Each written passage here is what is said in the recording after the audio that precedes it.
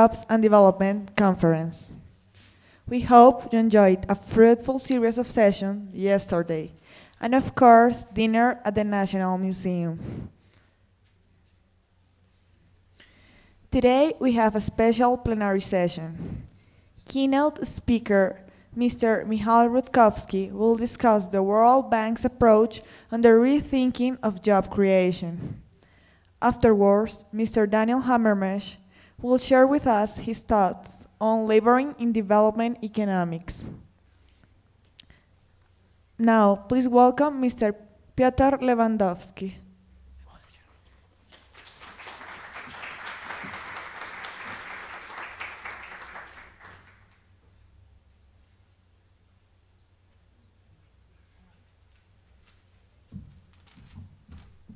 Uh, all right, good morning, everyone. So I have a pleasure to, to chair this session. And uh, the first talk will be by Micho, but maybe let me first invite both speakers to, to the stage, if we have the stage. Uh,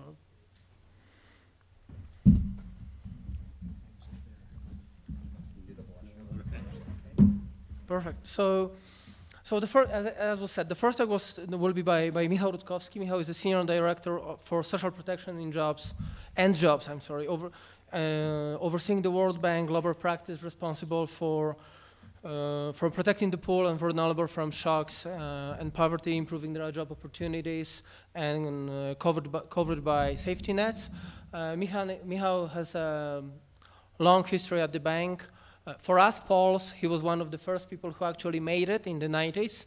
So uh, uh, he was he was at the bank in the in the 90s and the 2000s, working on the transition economies in Central and Eastern Europe and, and Turkey, overseeing work on multiple reforms. He was also uh, for two years out of the bank and quite instrumental in pension reforms in Poland in the late 90s. After he returned to the bank, he stayed in the same field, worked in, in, in Africa, in Asia. Then he was a country, then he was a senior economist, uh, and, no, uh, a manager, a sector manager in uh, in, in Moscow, uh, and after a couple of years in, in Russia, he moved back to DC, and now he's a, he's a senior director for social protection and jobs. From the point of view of this conference and the network of, of for jobs and development, uh, it's really, for, for, me, it's really nice that Michał is giving a keynote talk here because Michał was our speaker at one of the very first events that Network has organized in Warsaw back in 2014.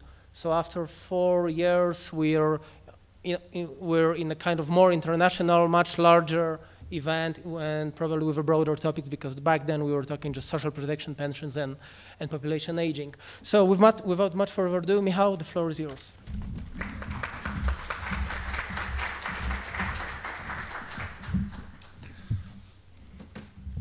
Thank you very much, uh, Piotr, for that nice introduction. It's really a pleasure to uh, have a chance to talk to you again. Um, uh, one of the uh, one of the surprises for you is that even though I, I will speak for a fair amount of time, there will be only five slides, which is very rare those days. Usually I notice I'm in presentations where there are more, more slides than minutes of the presentation. And with some ambitious colleagues, I was telling it cannot be. You need to have you need to have at least no more than one slide per two minutes. But I think I, I deliver on that today. Um, what I'm going to talk about uh, is indeed uh, what is on the on the slide, the new thinking about jobs, the World Bank approach. Uh, let me uh, let me, however, make a few qualifiers. So it, it is it is supposed to sound like a very sexy title, as if there was a new paradigm out there in the World Bank and everything is changing. It is not the case at all. These are small changes that take place at stages in the approach uh, to jobs uh, changes that in our approach to jobs, we learn a lot from what we work with our partners, clients, researchers. And, uh, and it's not like there is a suddenly a quantum leap and everything is new. But there are certain more important moments uh, than, uh, than others, and they often move the paradigm.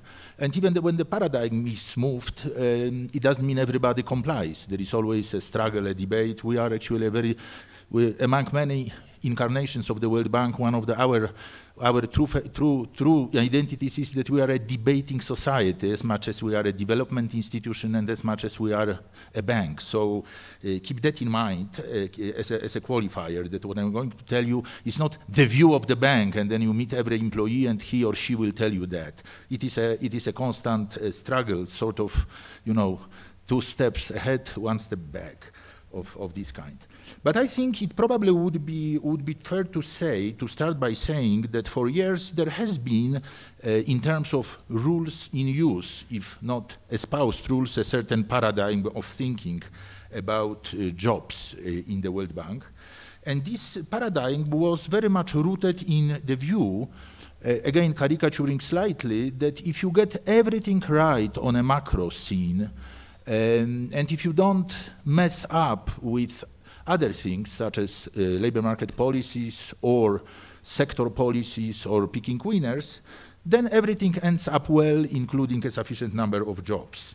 So the, for years, uh, I would risk saying that with, with, various shifts in emphasis, the paradigm driving the jobs agenda within the World Bank Group uh, was very much focused on increasing investments, improving allocative efficiency, and promoting business climate and therefore uh, growth. Uh, and in general, there is not much to criticize there because when economies grow, they do create jobs. And uh, when are, there are no distortions in the allocation of resources, labor and capital, uh, those jobs are created in sectors and economic activities where they generate the most value. So over time, jobs move from lower to higher productivity sectors, from rural to urban areas, and from informal to formal activities. So we observe those structural transformations which contribute to actually lifting people out of, uh, out of poverty. Uh, in, this, in this particular paradigm, which is very much focu focused on getting macroeconomic policies right so that the growth is there, um, in this particular uh, paradigm, there are obviously many other things which need to be looked at such as the rule of law, such as fighting cronyism and corruption. Um, and uh, there is even some space for thinking of human capital as being instrumental in uh, approaching, in increasing growth, having workers with uh, right skills. Uh, however, at the same time, if you think about it in this paradigm, a sort of which I would call a growth-oriented approach, where the focus is on increasing investments, improving allocative efficiency and promoting growth. In fact, the only set of policies that is uh, left to deal directly with jobs um, are those needed to improve the functioning of the labor market and protect workers. So in this paradigm, you get macro right, and then you want to make sure that re labor regulations are reasonable, uh, that, uh, that the labor market is neither overly rigid nor overly open to the point to which workers are unprotected. And if in this paradigm you use active and or passive labor market policies, that's fine, but there is a deep skepticism because a lot of impact evaluations, most of impact evaluations showed that especially active labor market, market policies work well only under certain quite uh, rigid circumstances and they can be done, if done well, they work, but it seldom happens, and it's very hard to figure out ex ante for which group of workers they would be actually working well. So it could be that in one country it's for men over 40, if they, if they go over skills training delivered by private sector institutions in another country, it could be that it only works for uh, young women and it's only if wage subsidies are used, not skills training. And there was a period of lots of lots of evaluation. I think the debate is still out there. Uh, is possible to make active labor market policies uh, more uh, productive, more efficient? Uh, the graph uh, which you have there basically illustrates the what I, I, call here a bit maybe theatrically the previous paradigm or or it's the, the thinking that was there. And the main problem with this thinking is that it didn't deliver on jobs as expected meaning there is a huge dispersion as you see um, uh, as you see the red line and dispersion around it. So there are so many countries that are disappointed in job outcomes even if they have a sound growth. Something which which is clearly a cause of concern, and obviously asks a question whether something needs to be shifted in this paradigm, added, subtracted, changed. That, that, that graph is for low-income countries and lower middle-income countries only, which is the bulk of, uh, of our partners. Uh, so in that context, the question is what, what could be done, how to rethink this paradigm. And uh, some of you who follow those, uh, uh the, no, the, the, the, global products, one we are very proud of in the World Bank Group is the World Development Report, which we mm, produce annually and is our flagship publication. It was, in fact, the most important for us. And there was a jobs uh, World Development Report in 2013 that started advancing some other thinking about the links uh, between investments and jobs, which is a very complex link and, and uh, require, requires certain particular look. And this is where, where uh, new paradigm started emerging, or at least started being put forward. And this new paradigm does not have new notions. Uh, it is strongly based on the notion of externalities. It's a very uh, old notion, but it's trying to be much more specific about what externalities we are talking about and uh, also what are the policy implications of those externalities. So in uh, that context, uh, the main sort of uh, the main constatation at the beginning of the thinking about it was that uh, policies that uh, increase investments and maximize rate of return to capital uh, do not necessarily generate the quantity or distribution of jobs needed to address today's problems. And uh, the reason why it happens is because jobs have externalities that are not incorporated in decision-making process when investment and growth decisions are taken. Um, and uh, those externalities, uh, speaking very broadly, here on the screen, um, I divided into uh, social externalities on the right-hand side and labor externalities on the, on the left-hand side. Uh, I think the notion of social externalities is obvious. I will say a few words about it uh, a bit later, a few minutes later. But I'd like to focus for a second of, uh, on, on labor externalities, which are, which, are, which are very important. And they are really based on the notion that jobs are central to economic growth, and they are not only a byproduct or a consequence. Uh, it's not just you cannot just think about demand for labor as a derived demand. Using the term of demand for labor in the presence of Professor Hamermesh is somewhat, uh, you know, make me nervous. but given his phenomenal contribution to that area, but the point is, for a long time, I even remember, I, I, mentioned World Development Report. I was a young staff in the bank, was a team member of the Workers in an Integrating World, 1995. And uh, with that perspective, I would say we very clearly said if macro is right, if business climate is right, is corruption, yeah, we even at that time did not talk about corruption, then labor demand is a derived demand. If you don't mess up with it through sector policies or labor policies, everything will be fine. But the notion of externalities, especially the, the, the social and, and, labor, comes in. And this is the notion that, uh, that economies also can grow because of jobs not the jobs are a result of those. Because more people work, because each job becomes more productive, because workers move from low to high productivity jobs, because households escape poverty when they get better jobs, and jobs also accumulate to human capital and to social stability. People learn and become more productive while they work. Let's put aside social stability. All those previous notions are essentially labor externalities. And uh, in the environment, when there is high unemployment or underemployment, uh, when firms consider a new investment, they calculate the internal rate of return based on the market wages they expect to pay. But when there is a massive unemployment or underemployment, what may happen is that the opportunity cost of labor is in fact well below market wages. And that difference can be considered a labor externality. That is, the firm doesn't take into account the benefits of not having labor resources idle, uh, and uh, including the benefits of workers whose incomes would rise due to investment. And this is very, very important issue for so many, especially low and middle income countries with very high underemployment or very high unemployment. And many of them characterized with structural unemployment and unemployment focused among youth. That's the notion of labor externalities. The notion of social externalities uh, is the one which we have been using for years, and we understood them, and it was never sort of, it was always nihil novi sub solem. Uh, however, it's never been in earnest incorporated, I think, in thinking about, about jobs policies. But these are a few things worth, uh, worth uh, listing here. If society has preferences for reducing poverty or inequality, sustainable jobs for poor people uh, has, has an obvious social externality. Jobs can reduce risk of criminality and radicalization of youth, especially in fragile settings. Um, uh, and therefore, having jobs is a clear contribution to very hard to measure social cohesion and social stability.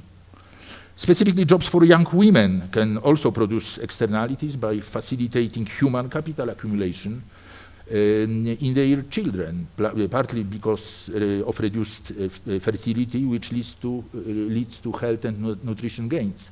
And this is an enormously important factor if uh, you believe in the benefits of early childhood development and in the fact that uh, the the stunting or malnutrition has a long-lasting impact on human capital of those stunted or malnourished, and that's therefore impact on growth, therefore impact of jobs. You have an, in, a, in a vicious circle. And uh, the jobs for women may create a virtuous long-term circle of uh, contributing to future growth and future uh, jobs.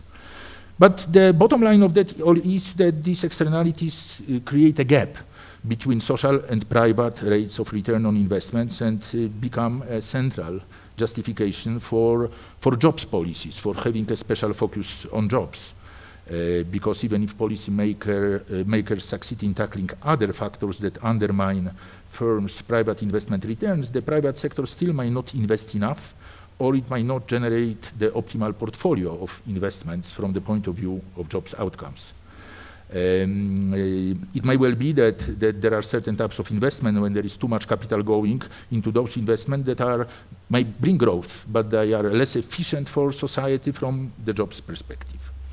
I come back in a few minutes to the issue of policies and what could be done and what this new paradigm entails. Before that, let me just uh, give you a very, very big picture of the situation today in the world in terms of the in terms of the labor force. Um, and it will be really a tour d'horizon. Um, we see we are facing a problem, but let's let's start with the. There are some basic, basic, basic numbers. One I would particularly highlight is uh, is, is the share of self-employed. You see, it is, it is two-thirds worldwide. So uh, very often, very often the, there are so much work going on, including research work on, on those remaining 35%. So, however, where, where, the rubber hits the road for development is indeed on the, on the right-hand side. But a few other numbers is, are important. There are 200 million people currently unemployed, of which 75 uh, million are uh, youth. And this is a tip of the iceberg because we have 1.2 billion people of working age who are not even participating in the labor market, and most of those are women. Uh, we have various, various estimates how many jobs need to be created by 2030. We use 2030 as our endpoint uh, because of the sustainable development goals. You would recall there is this agreement, sustainable development goals are expected to or have united the, the development community along the set of objectives. And for 2030, the most recent estimate is of 530 million jobs. And then among those 3.5 billion who do not have a job, two-thirds are in those very low productivity informal jobs on the right-hand side of the right-hand uh, part of the slide here, those self-employed, uh, farmers, own account workers in small household enterprises in very low productivity activity, uh, activities, often without pay. And among those, among those there, 66% are poor um, according to various classifications. This, this one used of poverty is, is income specific. It used, this is absolute poverty but adjusted to the income. One, it is 1.9 dollar for the countries that are, that are the poorest countries. And then again, looking, looking at that picture, what we need to think about, so it looks quite quite dangerous now in terms of not having enough jobs. But now we are, enter, we are uh, entering the territory of, of megatrends coming, which in addition to everything will we see, and what we see is insufficient growth creation, insufficient, uh, insufficient uh, uh, transformation. There is no enough firms which enter the, the market, and those that enter do not grow. Uh, so it's already bad, and then we have the trends coming. And it would be a very, very, very long discussion if we talked about all the trends. But I, I just select three to mention demographics, technological, and migration. But we also, there are many others, economic, social, climate change, which I, I'm not going to, to mention.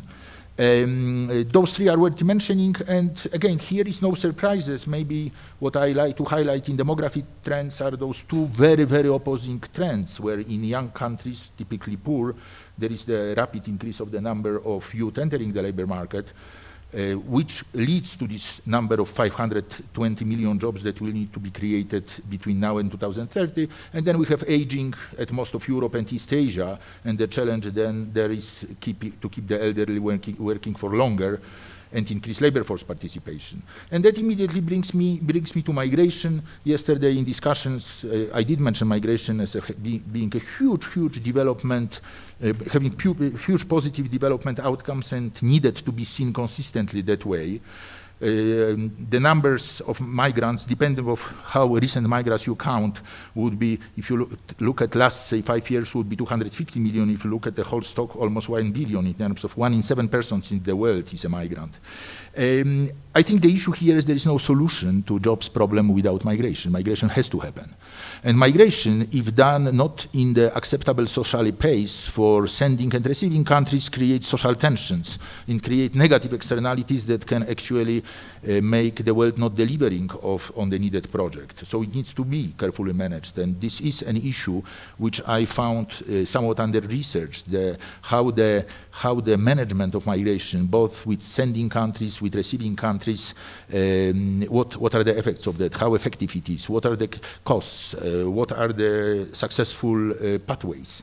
Uh, because, as I, let me repeat, there is no solution to the jobs challenges without migration. And further confusion of migration with forced displacement even further blurs the picture. Finally, technological change, and I only selected a subset of, of trends. And here, uh, uh, obviously, the stylized facts for the future, the, the, the big picture is as follows. New technology increases productivity. It's a big opportunity for workers. There is no question about that. And in the past, all cycles of technology coming to the picture did exactly that. And those who expected this, that jobs will be destroyed were consistently wrong.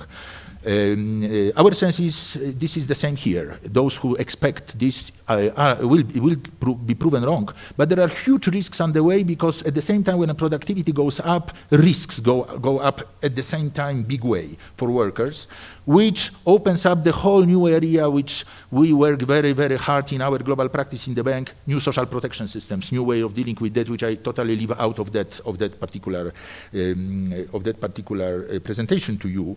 But what I would like like to highlight is that those technologies uh, bring challenges to job creation because new technologies also destroy jobs by replacing workers that it cannot be denied.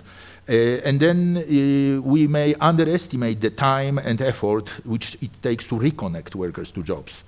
Um, new technologies may also reduce the comparative advantage of low-income countries, uh, which we took for granted somewhat in terms of cheap labor, because of reshoring. The firms tend to bring back jobs because it is not anymore uh, useful, anymore economic to uh, ship them out to developing countries. And finally, the new technologies change the role of the firm even faster than anything in the past. Um, uh, so old paradigm of firms, firms clustered in one place, um, uh, integration in geographical space, uh, the, the, um, uh, the uh, Marshallian view of the world is coming out very quickly of, of, of, of relevance. What does that entails in this, in those, in those uh, context, in the context of technological change? First is connection.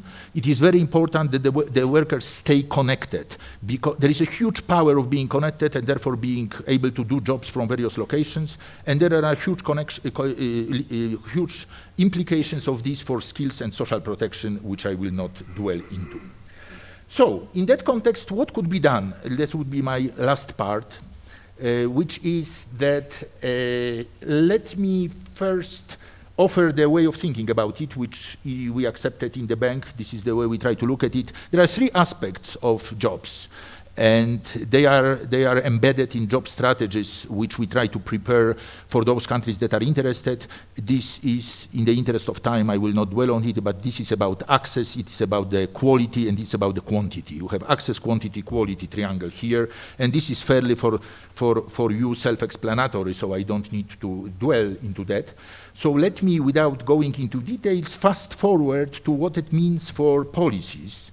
And let me make a proposal that we need really an integrated set of policies that places people and jobs at the center stage to reach the overarching goal of fostering inclusive growth and a global economy that works for everyone. And that has three types of policies, of which first and second are obvious have always been tried. First is macro and regulatory policies. These are fundamentals, trade policy, labor regulations, labor taxation. Second are labor policies, including active labor market policies. A lot to be said about skills and skill mismatches. But an important part is a third part, which are sectoral and regional policies, demand-side approach to the labor market, correcting, uh, correcting the market outcome because of social and labor externalities I talked about. So uh, in that context, there is a whole set of uh, proposals, the whole set of policies which we talk about that starts with something I just mentioned, leave no one offline, but then it goes into many other interventions ranging from working on value chains in agriculture so that people and uh, household, uh, uh household enterprises are brought to the market. Um, so uh, it is working uh, towards uh, the situations in which rural communities who first are online, but even if they are online and it still doesn't help and farming jobs are disappearing, they need to link to value chains. But it may well be that it's not possible, they need to migrate. I, I, our research show shows that they don't migrate to big cities. You need secondary cities on the labor side to be actively supported to allow for migration that is small in the first step may turn out to be a bigger in the second uh, step. So um, basically in this sense, uh, there are the, the, we, what we are trying to do, helping our countries, is to do so-called job diagnostics, which at the macro level looks at whether patterns of job creation and labor productivity are enabling the type of transformations that is needed, and then the firm level, at the household level, looks at the dynamics of firms as well as, as the determinants of labor outcomes at the household level. Let me, let me finish by saying what is the most important in, in, in our view uh, when it comes to, uh, to understand the solutions. And in all these three areas, the work on macro and regulatory framework, on labor, labor, regulations and labor policies, and also on sectoral policies on the demand side, how they influence jobs, this is a huge agenda for the future, which I think more research should be done, especially that any sector policy has been labeled as picking winners. So there is a very hostile territory for anybody who tries to think about value chains and try to think what particular interventions on the demand side of the labor market would actually deliver on jobs as opposed to first delivering on growth and then on jobs. So this is a risky territory for, for anybody, but extremely important that may be where the rubber hits the road. And then the, the, the, these are general uh, ideas, but we really need more research and policy analysis, and we need to determine what is the best way to design and implement those policies and programs.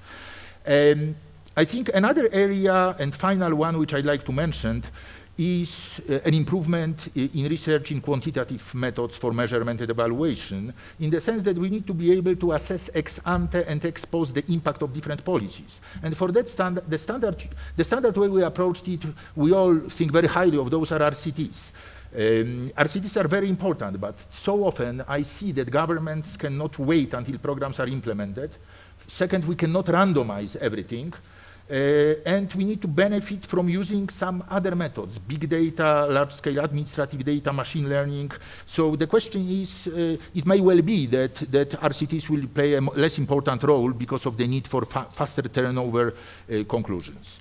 In closing, let me say that um, it is not that the old paradigm goes out, new paradigm comes in. It is just that uh, by step by step by uh, raising awareness and raising tools, uh, increasing the number of tools that could help in looking at the, uh, at the economy through the jobs lenses can bring improvement in um, what has been lagging, which is the jobs outcomes, much more lagging than growth outcomes. And this needs to be done also because the new megatrends may actually make a situation even more challenging and even, even more, more um, dire uh, for, especially for those in low-income countries, especially for those in self-employed and in household enterprises. So uh, we need you to focus on research and solutions, and I am very, very happy to see you actually doing it here in Bogota those days. Thank you very much indeed. Mm -hmm.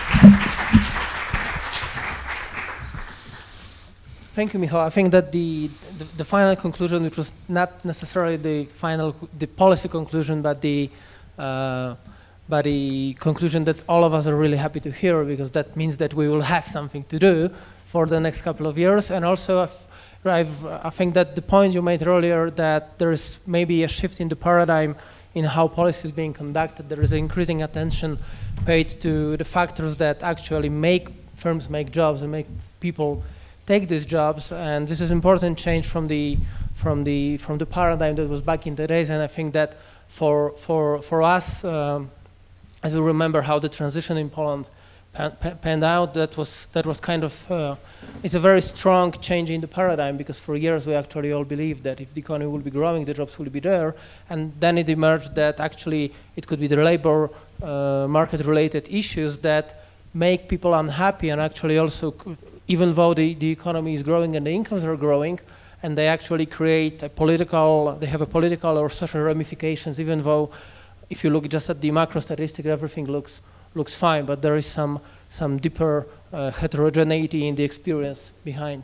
So we have a couple of minutes for questions. So, uh, so we can definitely take a couple of them and then maybe let me how to answer sure. to, to two or three. Maybe it's going to be uh, better that way than one after another. So Radhika. Do we have a mic on the? Do we have a mic on the floor? We can take one of these, but uh,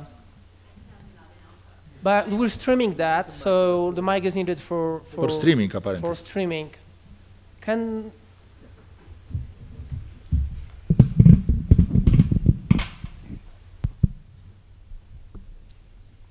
Thank you.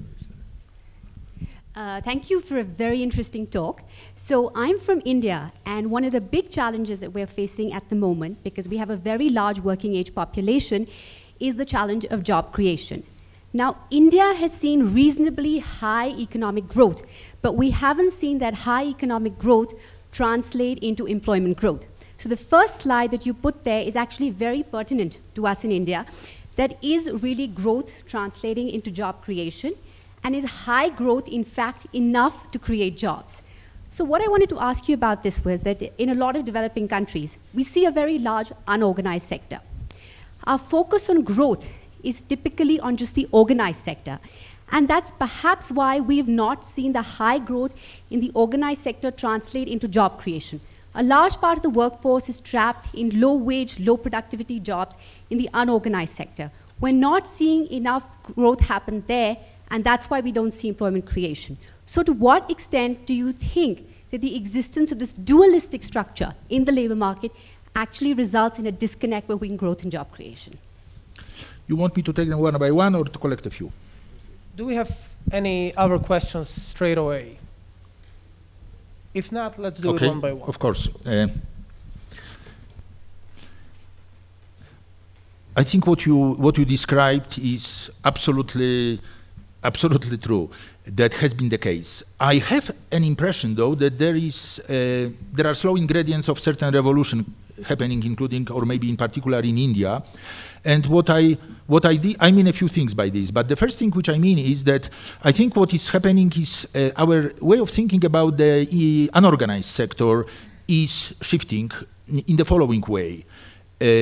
For many, many years, this dualism was not only a reality, it was a, a reality. India has been an economy, India was an economy which we call 90-10 economy, 90% uh, unorganized, 10% organized 40 years ago. And it is 90-10 now. It is not even 80-20. It's 90-10. It's amazing, right? At the same time, so much effort was paid by, including international actors and us, how to formalize, formalize, formalize. ILO was on the forefront of that. Nothing worked, really, in these terms. So what we need to shift our attention is not to think anymore about formalization. This is actually a word that should be discarded. We should think about improving the conditions of work in the informal sector, the quality of jobs in the informal sector, and most importantly, about how to help those, which is a part of the quality of jobs, those workers, to have engagements that allow them to manage their life risks. And on that, I see India is a bit in the forefront of the revolution through the direct income transfers, through pension system that started allowing for auto-enrollment. These are very beginnings. We are talking about a few percent, less than 1%, but there is a lot of thinking and attempts of trying to create a setting in which workers in an unorganized sector have that less and less unorganized as opposed to being employed by large employers, which is not going to happen. So I think where the, the, this, this shift is a shift that is a first step towards improving the situation. To, it, it, it also would go into, into things like transition from NREGA to sustainable jobs, better graduation policies. NREGA is a public works scheme in India, the, big, the biggest in the world. Um, and if you think about it, it goes hand in hand with the changes in uh, developed countries or in high-income countries, where we have more and more uh, workers slipping into what we would call less organized or unorganized sectors through contracting out part-time work. So in a way, rather than having formal informal, I think we are going into the continuum and we need to create a new ways of recognizing the validity of low-income, part-time, household-based jobs and improve their quality and enable workers to manage their risks. I only can kind of mention the direction of travel. I know it's going to be hard travel, but what I know well is that the old direction of travel will never work. Thanks. Yes, we have two more. Uh, yeah, the mic, Rajat Kathuria, and then we have another one in the front. Thanks, Piotr. Thanks, Mikhail. Let me uh, just echo what Radhika said, that this was most interesting presentation. Thank you very much for that. My question follows from what uh, Radhika was saying and, and from the perspective of India and from the approach of, you know, what can we do in terms of policy. You outlined three sort of big uh, policies that one could uh, use for, for labor market interventions. Macro policy, of course, two was your active labor market policies, and three, targeting social externalities. Thinking about it from the point of view of any emerging market, including India, where I guess the macro policies are going to have a momentum of their own. I mean, it's hard to think that we'll actually address macro policies for the sake of labor market policies. Uh, they'll be addressed at their own speed, at their own time. So between, so keeping that, you know, active macroeconomic policies aside, between two and three, active labor market policies targeting social inter interventions in, uh, targeting social externalities in, in particular sectors. We've recently undertaken in India targeted policies for labor intensive sectors.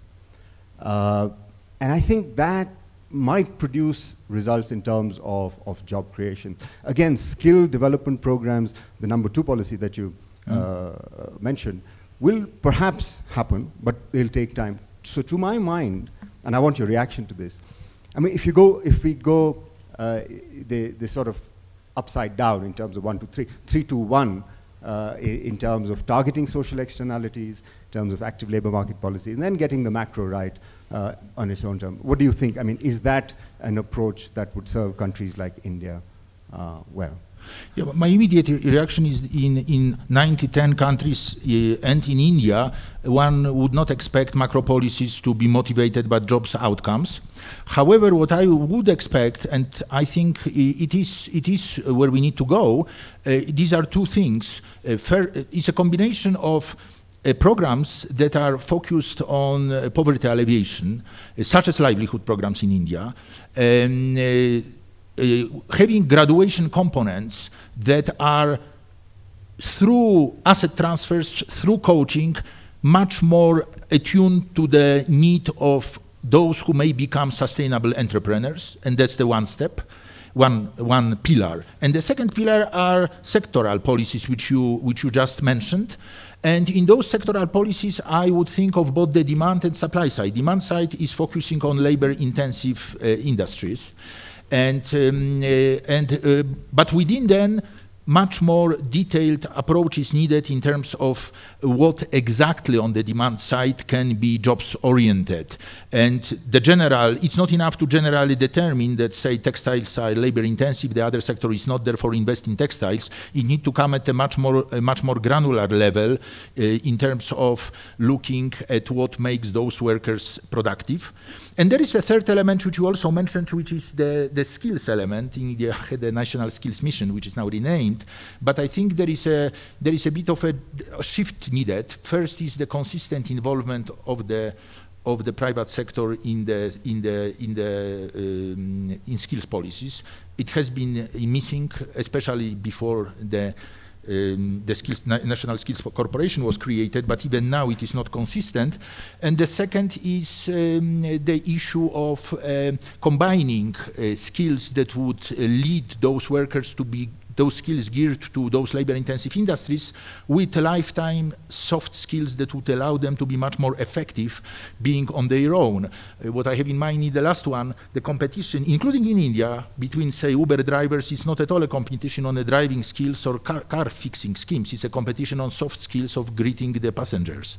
And this is a very important thing to remember because there is a reality. I, you may disagree, that's even my experience. And, and that's why that needs to be reflected in the way skill acquisition is approached. Right, thank you. We have time for one more. Uh, my name is Philippe Berger. Um, so production function is labor and capital. So uh, to complement what you've said here on, on the capital side, uh, how would you think in terms of investment in labor uh, intensive versus capital intensive uh, uh, capital?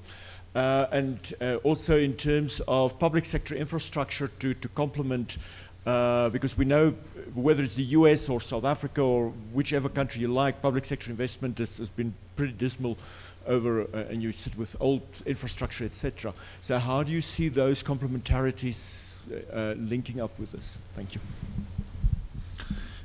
This is a very difficult but interesting question, and um, uh, uh, I think what I, I, I would have two things in mind.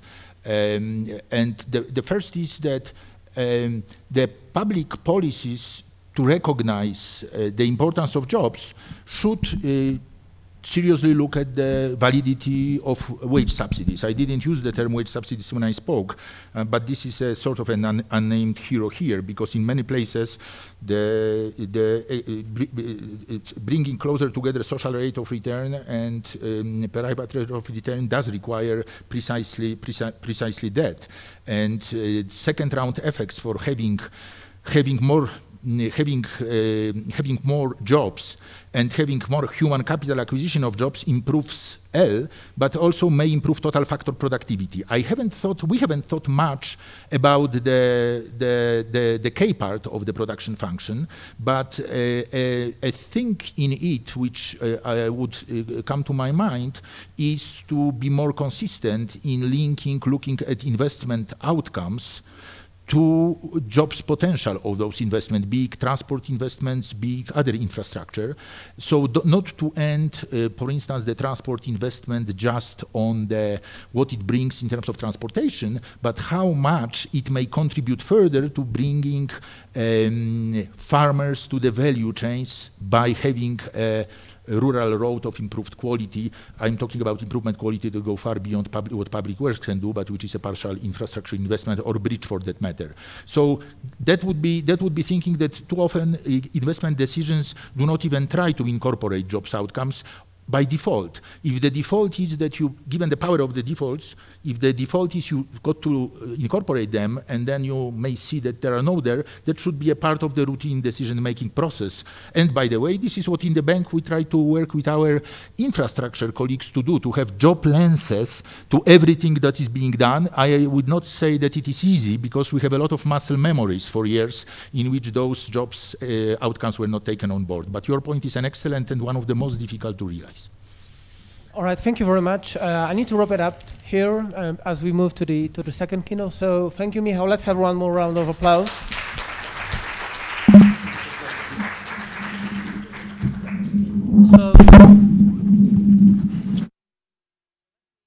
So, with the second keynote, we're moving. I guess I expect we'll move a little bit away from the policymaking world, a little bit closer to the academic academic work and academic research. Uh, our second keynote is Daniel Hamermesh, who is uh, one of the leading labor economists in the world.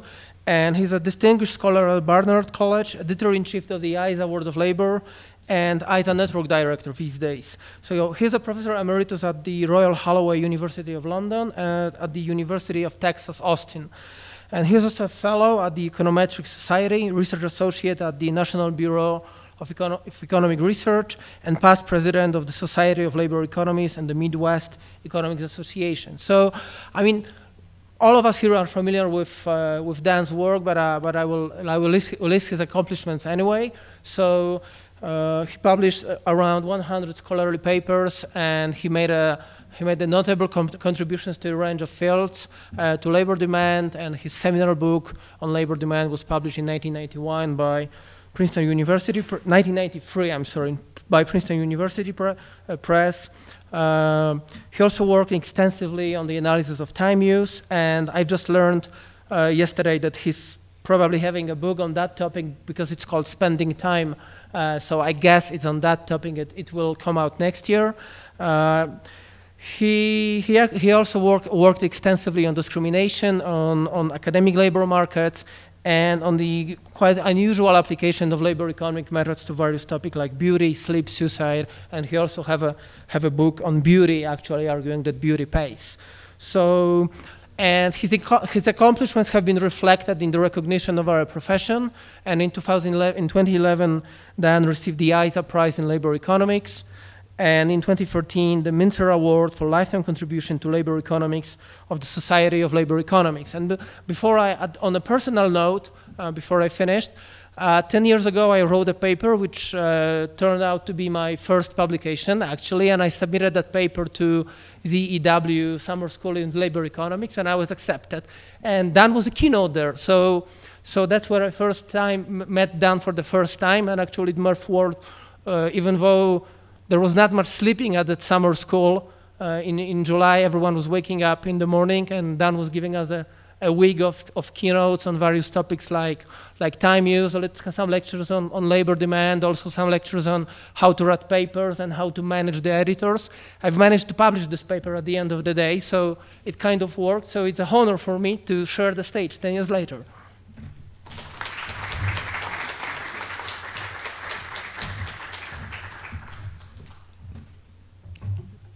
clicker. Clicker.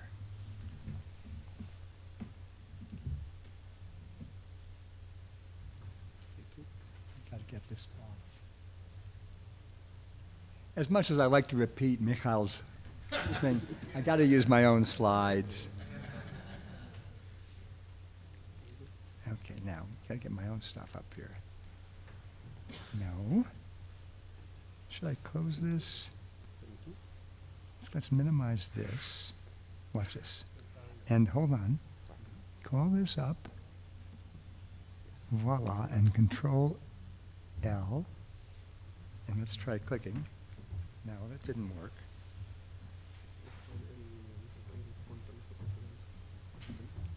No. Anyway, that's the title page. Uh, there we go. What, what did you do? Okay, the bottom. There we go. Okie doke. Uh, this is, oops, I'll try to be good on this. Uh, I was asked by Gary to give this talk. He actually looked over a lot of the slides before I finished it up.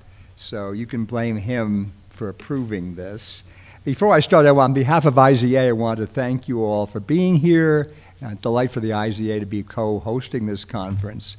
Uh, I want to make you feel good, those who are participants, by letting you know that we had three times as many submissions of papers as we accepted. So the fact that you're here uh, really speaks to the quality of what you submitted, and we're very grateful we got that many. Also want to thank Julia Granata for having organized this so very, very well, and Malu Poveda for having kept us in line and indeed babysat, I think, for me and so many other people. Uh, before I start, I want to ask you, how many of you have PhDs in economics or are currently studying for a PhD in economics? Raise your hand. Okay, it's the overwhelming majority. Good, okay? Because this is aimed at development economists who have PhD in economics, which is most of you.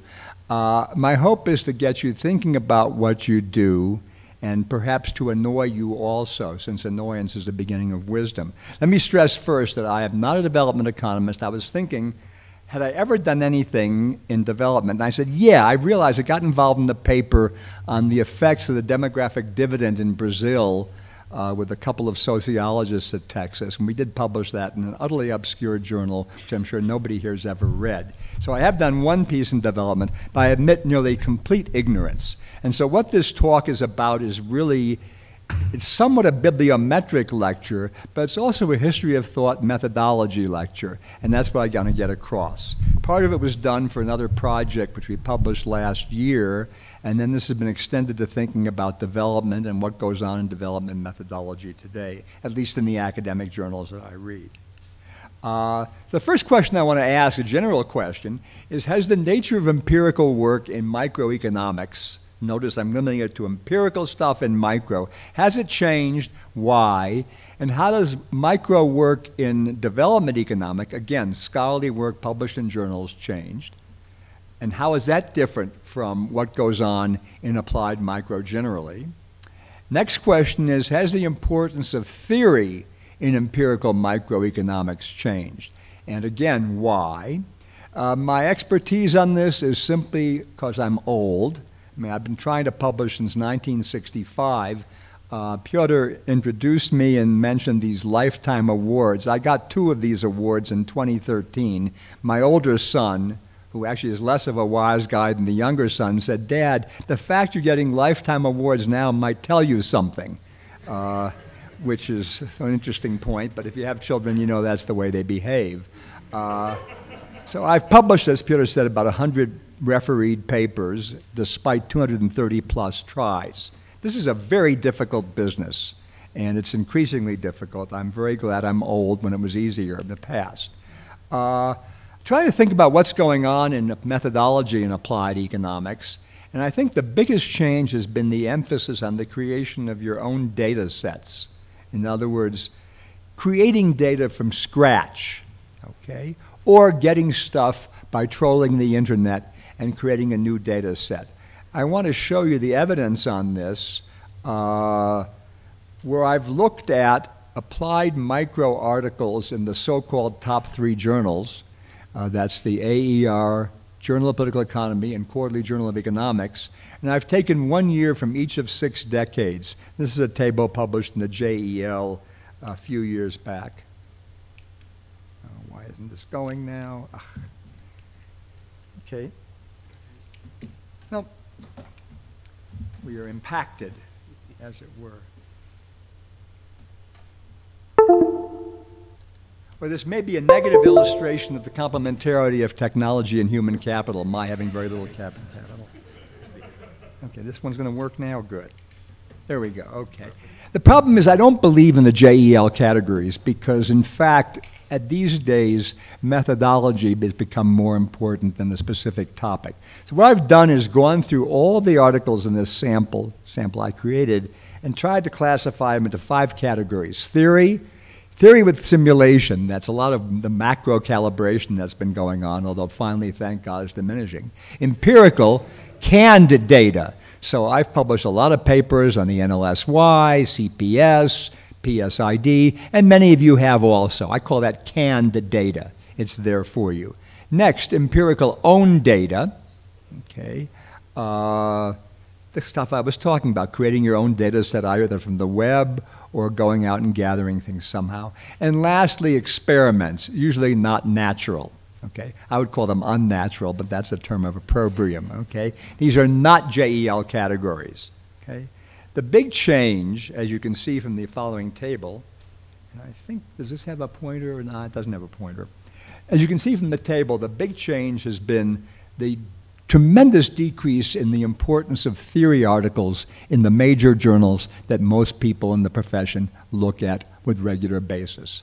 That's been a tremendous drop in that, and the big rise has been the publication of articles over the years in which people have collected their own data and based the paper on that.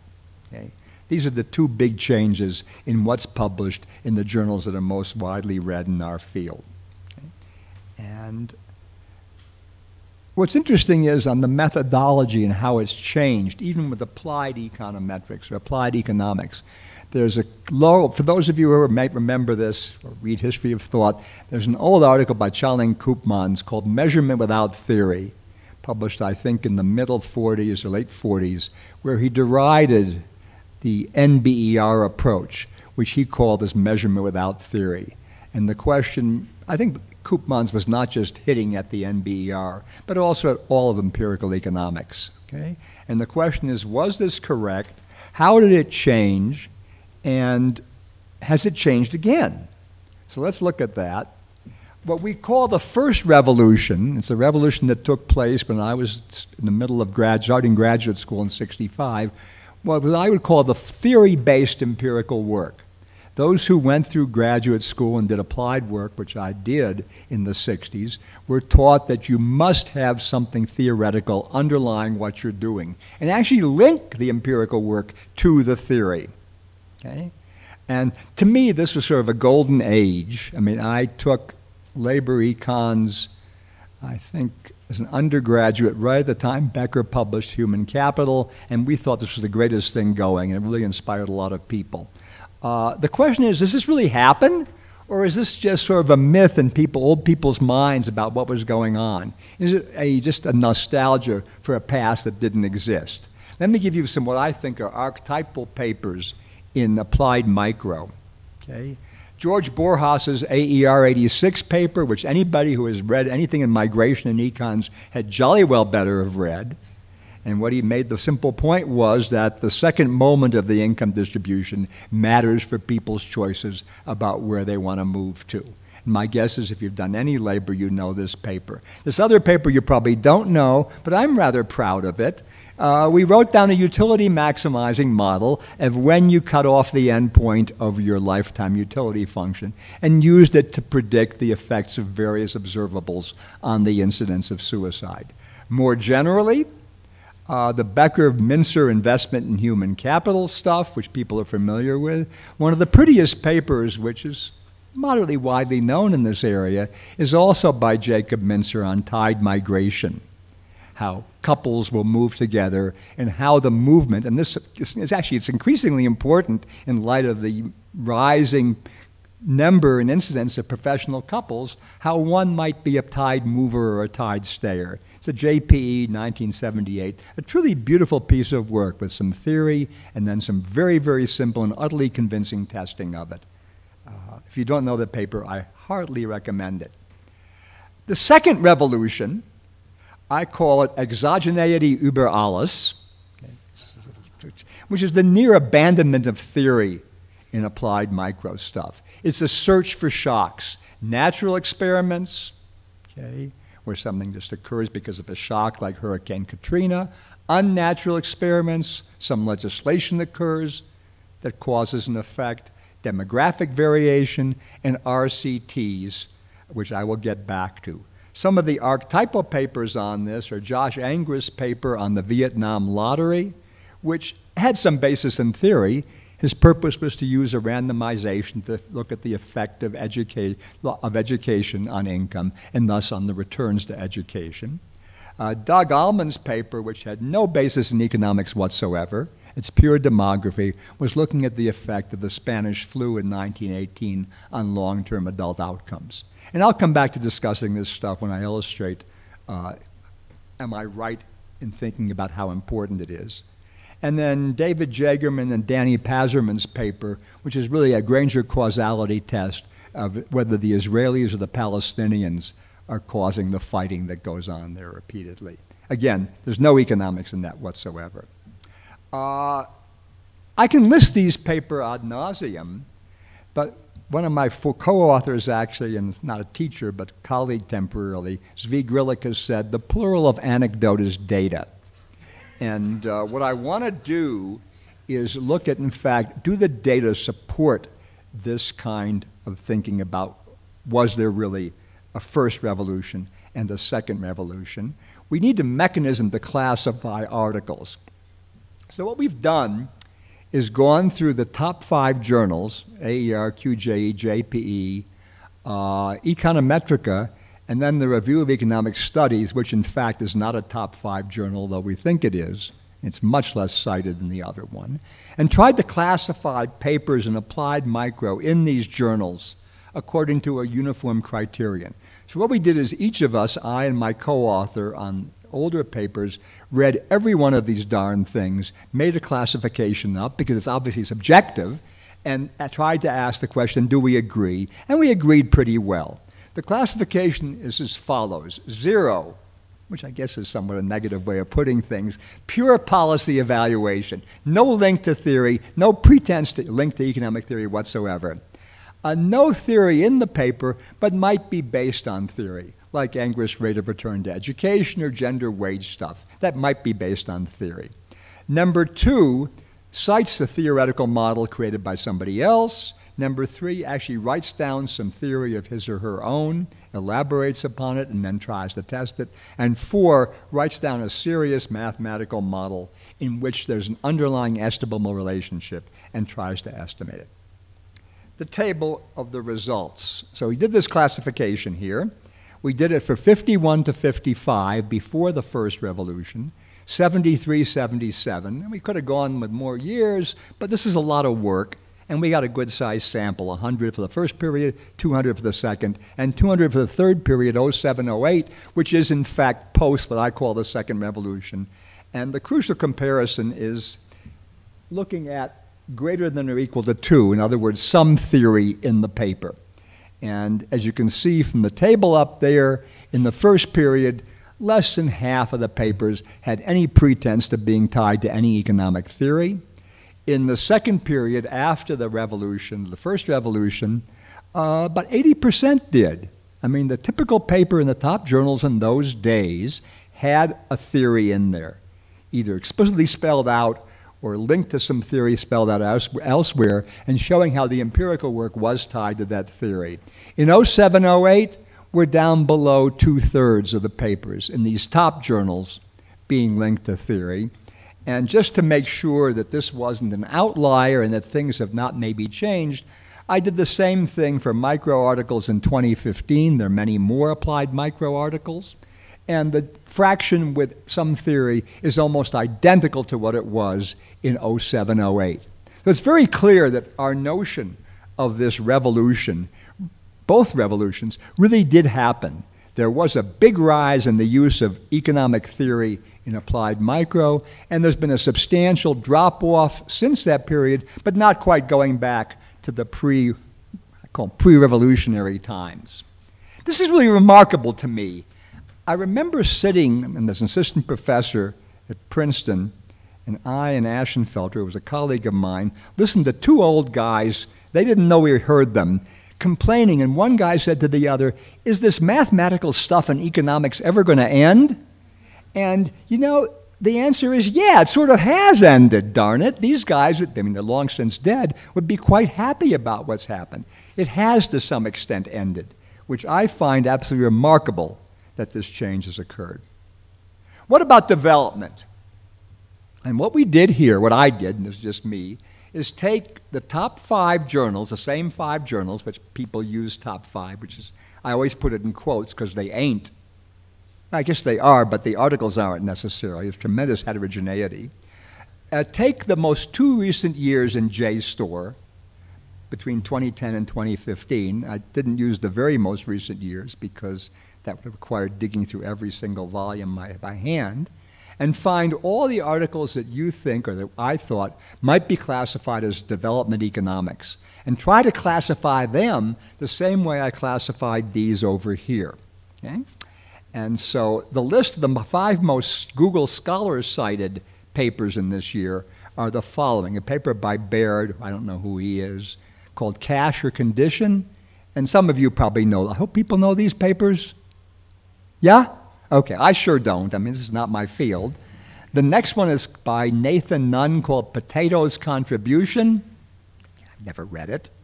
Uh, the next one you might classify as economic history, but since it goes back far uh, back enough, I'd say it's development. It's by Hans Joachim Voth on persecution and the continuation by area of Germany in anti Semitism.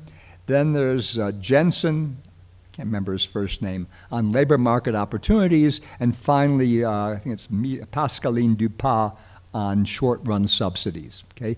If you notice in the right-hand column there, the classification of these, only one of these would be, quali- be uh, would I count as having had any basis in economic theory whatsoever. That's the Dupas paper in Econometrica. I list these as examples since you're familiar with them and also because they are the five most cited out of the 47 papers that I classified as being applied micro in development. This doesn't mean there aren't development papers. Okay? I mean, going back a ways, certainly Gary Fields' own stuff is development. That's why he got the Lisier Labor Prize, but it's not applied micro. There's no empirical work in some of his stuff. Okay, what about the 1970s? In other words, go back to the period before the second but after the first revolution. Take three years, I had to do three years because there wasn't as much published then, and the same five journals, and look not at Google Scholar because Google Scholar only came up more recently, and old articles are under, un, the citations to old articles are probably undercounted there.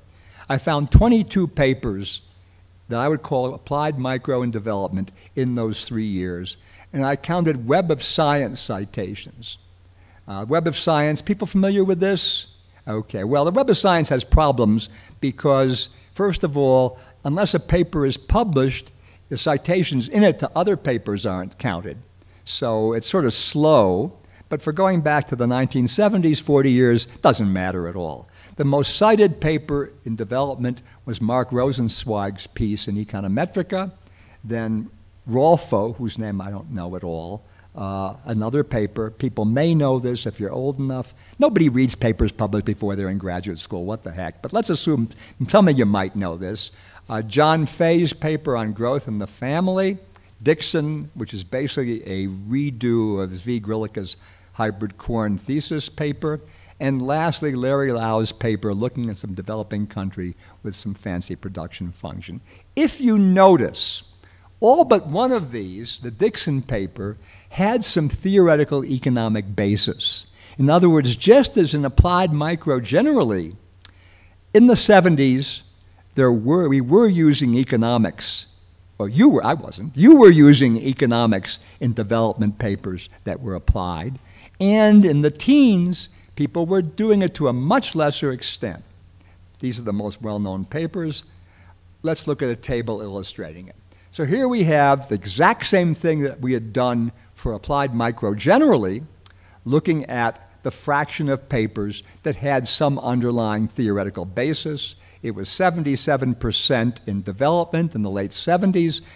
If you remember back to the table before, it was 82% in applied micro generally. Not much difference, right? And indeed, statistically, I mean, it's, oh, it's rather stupid to be doing statistical tests on a population like this, but statistically, there was no difference. In the mid 2010s, it's below a half. And it was 62%, if you remember from the previous table, in applied micro generally, and those are significantly less in development than in other stuff. In other words, the trends here are the same, there's a growth and then a drop. It happens the drop is even bigger in applied development than it is in applied micro generally. Okay. Next question I want to ask is, okay, well, we have this change in development, also in applied micro generally, but I want to concentrate on development. And I want to measure impact and ask the question do these two different kinds of papers have different scholarly impacts? Okay? Now, look, I, look, in this audience, I am fully cognizant of the fact that there's a hell of a lot more going on than scholarly impact. Okay? I recognize that. But the people doing these things, to a very large extent, want to have a scholarly impact. And if they do so, others will have a scholarly impact. And it might have some impact in the real world, which Michal talked about so very, very well.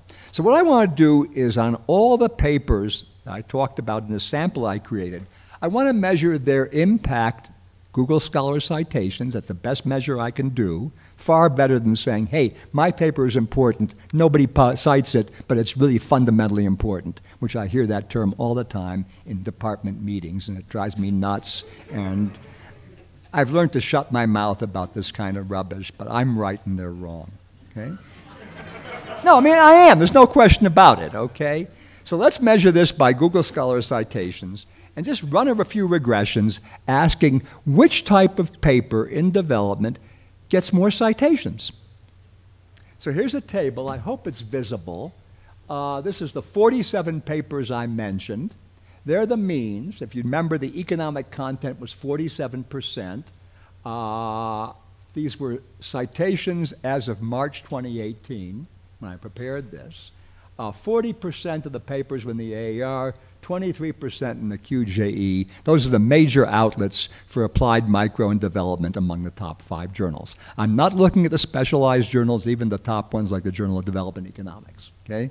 That's a lot of work. Enough's enough. 47 is a reasonable sample. Okay? Just look at the first, second column, ask a simple question Does having more economic content lead to more citations? No, quite the contrary. Having more economic content means the paper has less of a scholarly impact, which says something about your field. Now, maybe it's papers of, I mean, it's not my field, and that's the beauty of being an outsider. I can yell at you, and you can say this guy doesn't know what the hell he's talking about, okay? Which is fine by me. Maybe it's the fact that some journals where things are published get more cited, so put in fixed effects for the two major journals in the left out category is the Restuds Econometrica and JPE. Okay? And you know, that matters somewhat, but still the case that the articles that use no economic theory whatsoever have a larger impact. Eh, T is greater than 1, which for a labor economist is good enough, has a larger impact than articles that have some economic theory. So this is remarkable to me, and I found it sort of surprising. Okay? A theoretical articles are significantly more cited than other articles. That's a bottom line on this little bit of empirical work.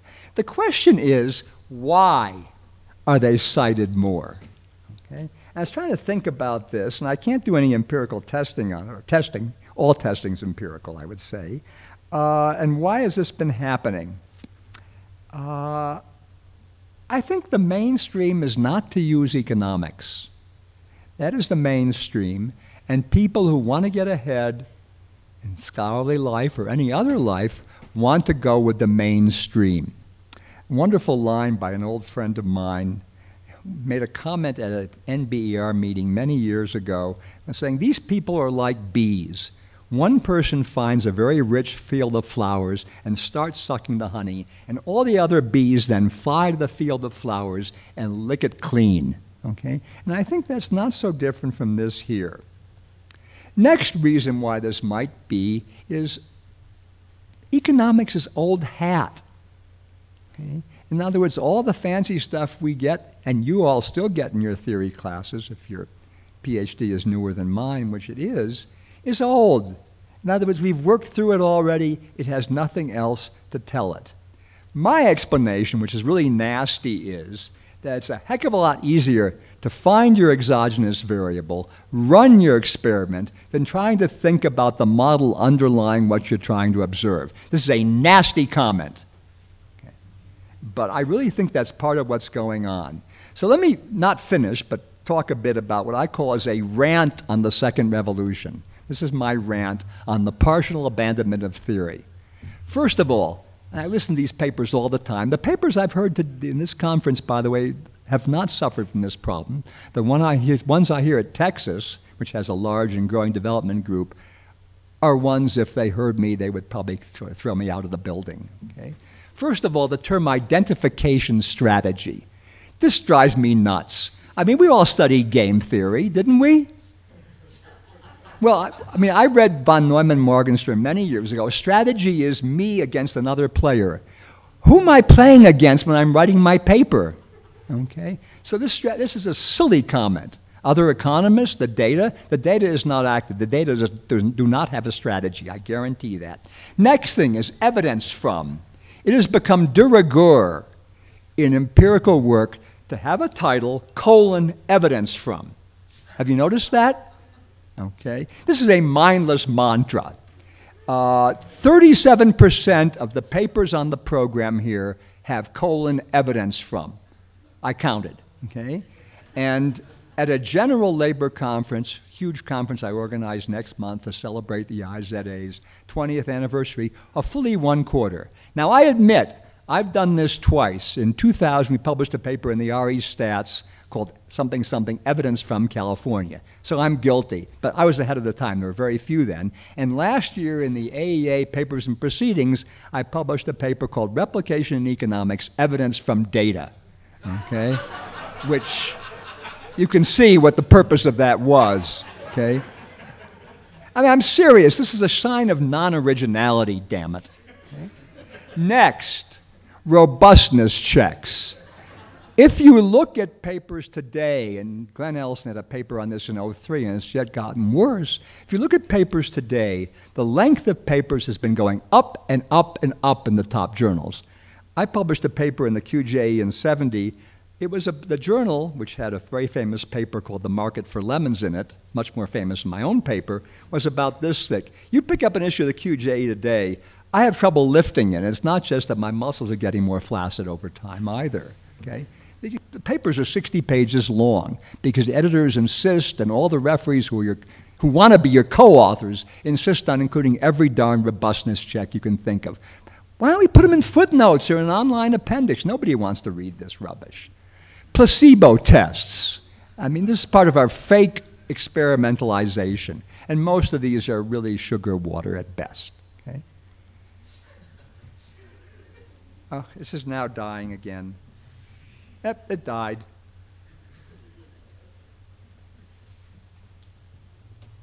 Ah, I want you to ask yourself the question when you write a paper, could a sociologist, which is, I mean, it's, a, it's which I view as a term of opprobrium, uh, who was well trained in stata or a demographer, and I, some of my best friends are demographers and sociologists, could they have written this paper also?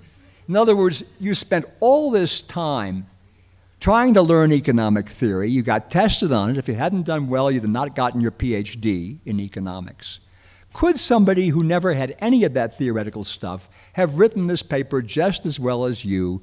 Again, I think we probably are better at using stata than other people are, but they can do it. Sociologists do exactly the same thing. What do we have to offer? If we're going in this direction, why do we force PhD students to learn this stuff? I mean, it's not like a merit badge in Boy Scouting which you're never going to use again, but we aren't using again. Okay? So I think we ought to think about this. We do have something, I really firmly believe we have something unique to offer. The theory that we learn and that we teach does tell us something, is testable, should consider, condition our thinking. Next, the term RCT drives me nuts. I call them really cute trials, okay? Oh, yeah, I know, okay? Do we worry more about cuteness than about using economics to give new ideas that only we can do? I just finished reading a book by an economist named Andrew Leigh. Anybody know the name? Probably you'd know him. He's an Australian labor economist, PhD from the Kennedy School. He's also a front bencher in the opposition in the Australian Parliament. Okay, just a really smart boy. He's publishing a book this summer called Randomistas. Okay, which uh, the title of which is a term of opprobrium that Angus Deaton applied to this kind of work. You may have seen it. And uh, I sent Angus these slides. He loved it, not surprisingly. Uh, it turns out that, I mean, what people are doing on this stuff, as you should know and probably do know, has been done for many years in various other areas in very similar ways. I'm not deriding the usefulness of it, but that's a lot more to economics and what we as economists can do than what goes on here. And I wonder, when in the early 70s, I got involved with an organization called Manpower Demonstration Research Corporation. Anybody ever heard of this? If you have, I'd be amazed. I mean, it still exists. And they said they were doing experimental stuff, but to me, demonstration meant they could spend money. There wasn't any real evaluation, there was no underlying economics, no testing of predictions from principles or even new ideas. And this bothers me. Again, my plea is that we do have something useful to offer here, and we darn well ought to do it. If not, I see very little reason for studying economics. Sociology is a lot easier. You can do that and learn stata and run your regressions very happily. This, again, this thing is not working well. There we go. Conclusion. Is this a fad, this sort of second revolution, or is it permanent? I don't know. I mean, I like to think people will realize that and start doing more economics. But I think the theoretical predictions of economics that we get from optimizing behavior by thinking how agents interact in markets can tell us something at the micro level. This says nothing about macro, which I know nothing about, although I've taught it for many years. But I mean, no. But look, that doesn't distinguish me from anybody else teaching macro, believe me. So, look, my bottom line here is let's use the stuff that we have a comparative and an absolute advantage in. We know economics, we spend time studying it, it is useful. And the bottom line here is it's time to put the econ back into economics. Thank you very much.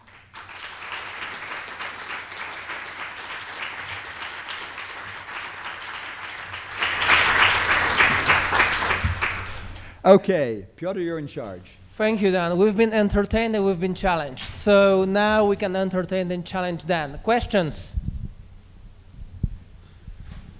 I'm really nice when I get questions. I don't fight.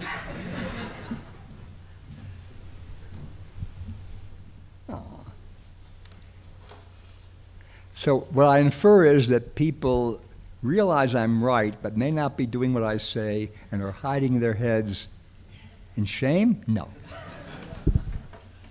We have one, but where's the mic?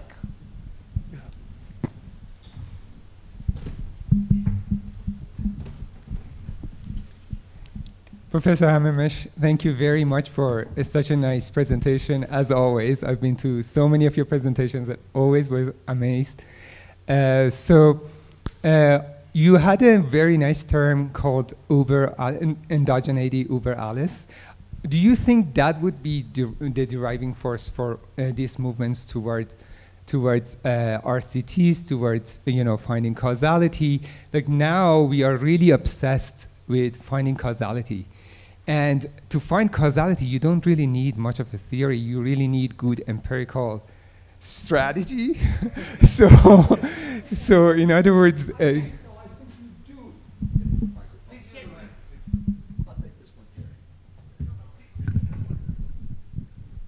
I think you do need a theory. I mean, again, without the theory, anybody could do this, okay? But I think by thinking about the theory that, that leads to, I'm not a structural person because I, the restrictions there are so, so stringent that it loses what we learn. But I think by thinking about what we're looking for causality in, I mean, I did this stuff on labor demand 25 years ago, and I saw one very nice paper yesterday which is sort of structural, but trying to think about causality, yes, but also trying to think about the parameters underlying the behavior that generates the causal inferences.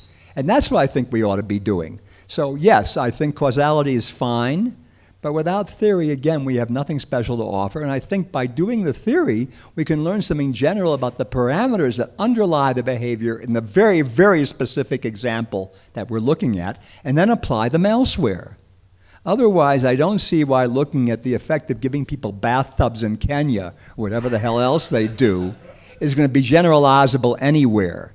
But if I know about what the behavioral parameters are that lead people who use the bathtubs to bathe more are, that's a silly example, I realize, then we might have something generalizable. Otherwise, these are just basically going back to the 1950s case studies that people did in labor in those days.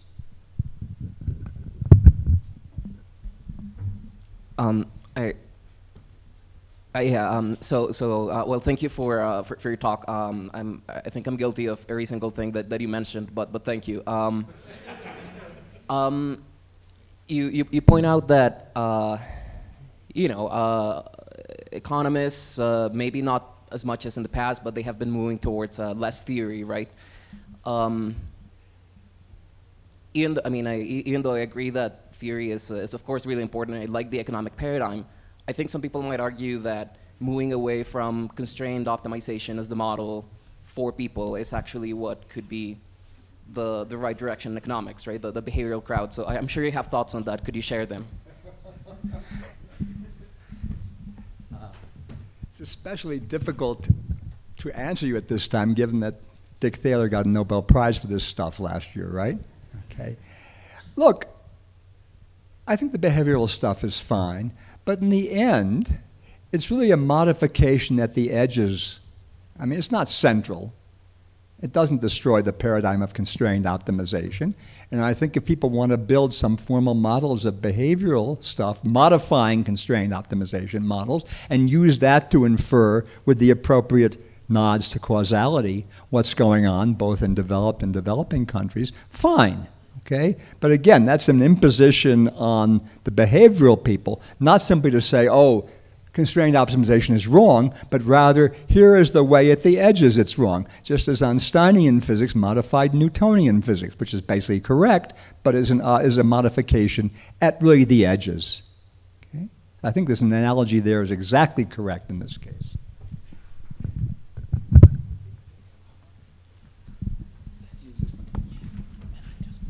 So, um, oh yeah.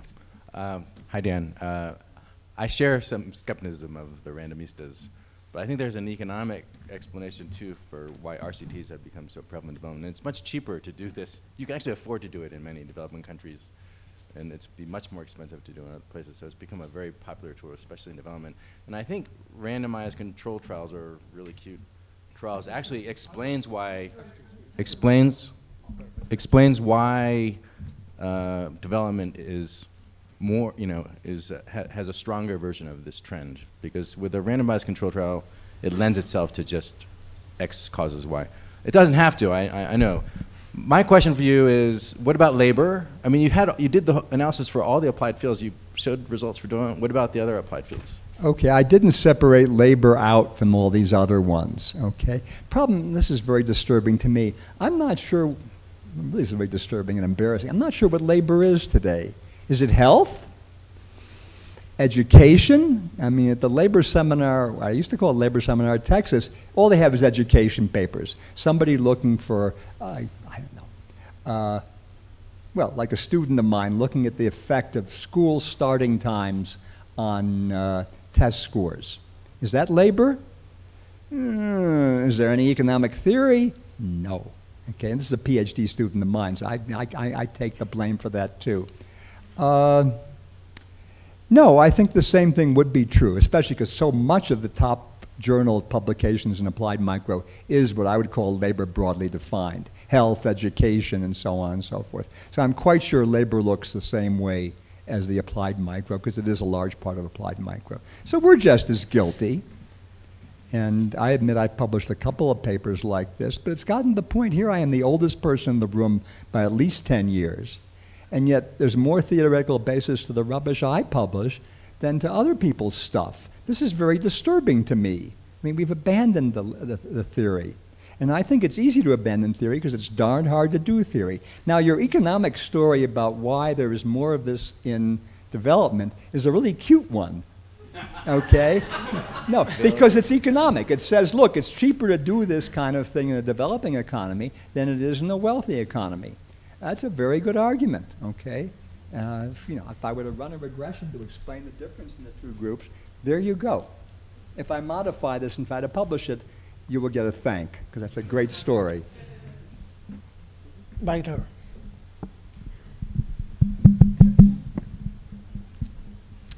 Thank you so much. I loved every minute of your talk, and I've taken pictures without your permission that I'm going to share with all my That's colleagues. okay. I don't take royalties. Go ahead. okay. Um, I want to talk a little. I'm a development economist, and I actually knew I quite bl- I won't blame you. Go ahead. no, no, no. I'm not one of the people that should be hiding. I'm proud to say I don't think I should be hiding my hand, uh, head in shame.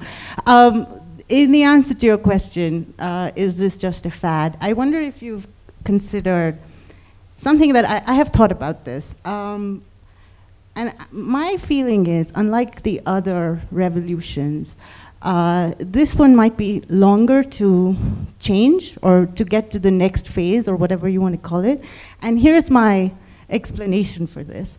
Um, I think there's a political economy of publication in development economics. And in every subspecialty. In every subspecialty, I'm sure, but especially with RS, RCTs, because contrary to what Albert is saying, where it's cheaper, to, of course, it is cheaper to do it in developing countries than in developed, but it is still expensive compared to using the NLSY or the PSID. And so there's this, it's easier to do this when you have a lot of money. It's harder to get a lot of money if you didn't already have an advisor who had a lot of money of their own. And so I think it's going to take a while for this to phase out, perhaps, compared to the other revolutions. The other question I have for you, a testable prediction. Um, have you looked at the concentration of um, the publications?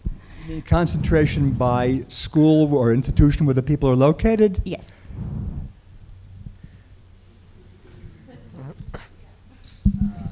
This can lead me into an awful lot of difficulties, okay? I have not. And one can make up anecdotes about this. And I've certainly seen papers, indeed papers in the 60s, and a very recent paper unpublished by a German economist on own school bias in publication. And it goes beyond that, its own network bias. Okay? But whether it's different in development than anything else, that I just don't know. I mean, look, we like openness. You were telling me all about all your openness work last, transparency work. I'd like to think things have gotten less old boyish over time, which is what you're talking about, but I have no evidence on that at all. I mean, it is the case in the top journals now. I mean, it used to be, when I was starting off in this business and through the 70s and early 80s, that the overwhelming number of publications were by people in North America and Northern Europe in the top journals. This is no longer true. Just look at the journals, and these are worldwide. And no matter if you're an academic, no matter what university you're at, the way you get ahead, the biggest feather in your cap is publishing in this most selective set of journals. You all know this. In that sense, one would hope things have, have become more open. And certainly in terms of the world, the, the increasing breadth of economic thinking worldwide, that's true. But whether in fact different schools, different people have their stuff and they get it all taken care of, and everyone here thinks that his work is discriminated against when it's turned down by journals, right? And that if you're only at Harvard, they'd be publishing your stuff uh, without a problem. I don't think that's the way the world works at all. So I like to think it's gotten more open, but I have no serious evidence on that. I'm sorry. And whether development's gotten more open, I don't know either. So to answer your question, pure ignorance. That's a great question, and maybe that could be my next. I call these my gossip papers. Okay, this could be my next gossip paper. It'd be pretty cool to do that. We have a couple. Yeah, we have a couple of more minutes, and I'm pretty sure we'll have a couple of more questions. Yes, I'm just curious uh, of what you think about new generations, like entering as students, in the um, and how this uh, learning process is going to be different for a future PhD in economics with access to data from like the internet and all of these new uh, s- own data sources. What are your thoughts on Well, there, that? there are two issues here. The one I stressed in the talk was look, you look at the instruction in PhD programs today, uh, the theory has gotten increasingly abstruse. I mean, the theory I learned in 1965, the micro theory, was out of a book called Henderson and Quandt, which probably nobody's. Anybody ever heard of the book? Okay. This was just constrained optimization, micro, and various consumption production. I even taught economic theory graduate students, which is a truly scary thought for a quarter, several quarters at Michigan State, doing production, theory of production. Okay? But the stuff people do right now in graduate theory courses is much fancier than that. I couldn't get into grad school today having had two years of college math. Okay? I, nobody would have me. And yet, what are they using it for other than to show they can do it? And at some point, people are going to realize that we're just wasting people's times. I mean, get a PhD at the Kennedy School and don't take all the fancy theory courses at Harvard because you're not going to be using them. So I think the program, the graduate education will change. On the other hand, there's no doubt that econometrics in grad schools has gotten much, much better. I mean, I used to, I taught a class in the late 80s which I called very applied econometrics, trying to get the students to actually do something rather than just learn econometric theory. Today people really do that. And this actually ties a little bit to your point. It's because the cost of doing stuff yourself has gone down. Everybody's got a computer with huge amounts of memory and can do all kinds of neat things, get stuff off the web, and create these wonderful data sets. So in that sense, things are better. It's this integration of the two which I see not happening, and I wish it would. So that's where I see things going. But again, I'm not going to be around till the end of this revolution, I'm afraid. Because as you said, it's going to take a while for a variety of reasons.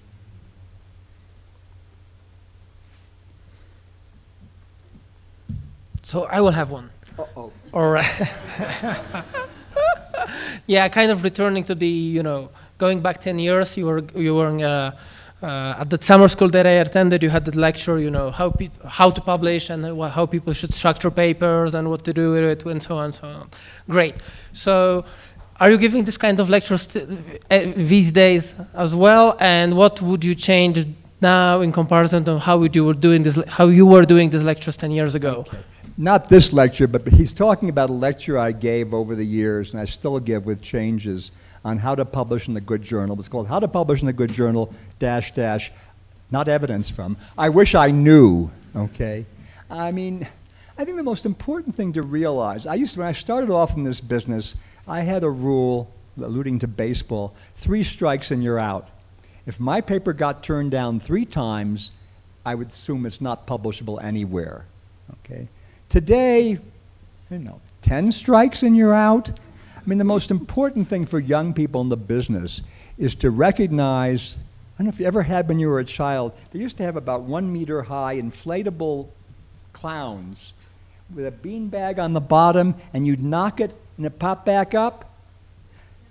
You have to be that to be successful in this business because you get knocked down much more than I got knocked down when I was starting out. And if you get discouraged, uh, you won't get ahead, either in academe or in government or and non-government related institutions. So that's how I would change it most of all. Just the need for persistence and stick-to-itiveness, given that acceptance rates at the so-called CHOP journals are 5% now. That's the biggest change I would make in that. And uh, it's only going to get worse or more difficult because more and more people worldwide are trying to do the same thing as you or I. Or as you, not as me. Do we have any more questions? Okay, yes.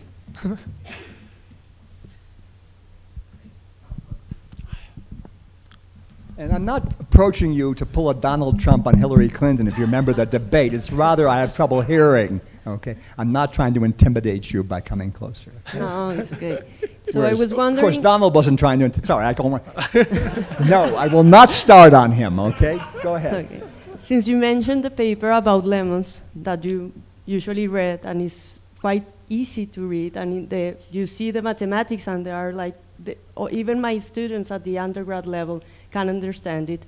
And now you go to these theoretical models nowadays, which you need much more mathematics, and maybe that could be discouraging some of our students in economics into going that way. I don't know if you have anything feelings about like to go into the to the simple and to to really address great questions. That's my feeling. Like people nowadays, they do also theoretical models, but now they are also doing theoretical models of, of Useless theoretical Useless, models is what yes. you're saying.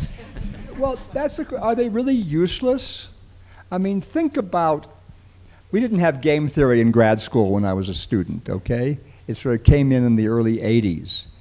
Is that useless? It's fairly fancy, or have we just not tried to use it in an empirical way by thinking about how agents interact? Now they have in I/O, but I don't think it's any different in labor markets really. And I think of the fancy theory of Al Roth's unmatching, which is one of the great ideas of the last 50 years. That's extremely useful empirically. And I've seen remarkably little other than applying it in the context of educational matching in New York, a la Roland Fryer and company. Uh, these are vastly useful ideas, but it's hard to get into them for most people. But in fact, students are being taught this stuff in the theory classes. They just aren't applying it when it gets to doing applied work and applied micro. That's what's, I think, bothersome to me more than anything else. But I don't think it's off putting because the grad students who are taking this stuff get it shoved down their throats.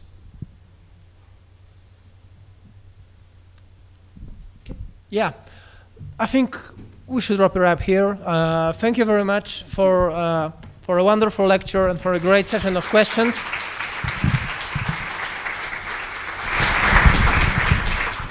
And also, just let, let me just add that we still have a couple of coffee breaks and lunches to inspire Dan to get into development economics because you haven't really achieved much in this field. So, you know, there's a green pasture, there's a green pasture for you. Thank you. Well, please wait a minute. Uh, as yesterday, we will meet at 1 p.m. on the fifth floor for our lunch. But for now, I will invite you here to the stage to take a picture, please. Uh, remember to take all your personal stuff with you. Oh, and at the end of the day, we'll meet again at the fifth floor for the closing cocktail.